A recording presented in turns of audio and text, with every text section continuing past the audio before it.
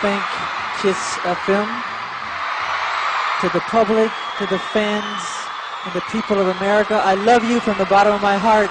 Thank you. Merry Christmas. I eventually met Michael, but it was brief.